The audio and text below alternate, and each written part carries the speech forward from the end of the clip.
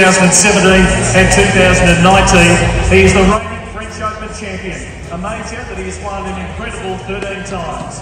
He first achieved the world number one ranking back in 2008, has won 86 ATP Tour titles, a Davis Cup winner on five occasions, and a twice Olympic gold medalist in singles and doubles. He's the number two seed at Melbourne Park this year, which will make welcome back from Spain.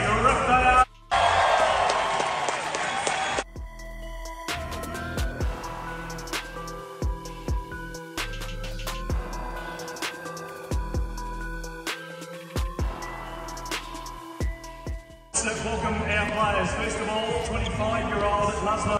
He's the current world number 56. His ranking having peaked at 27 in 2019.